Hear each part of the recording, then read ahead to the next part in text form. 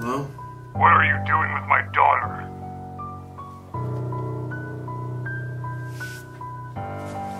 Hey, your uh, dad's on the phone? Like, when did you give him my number?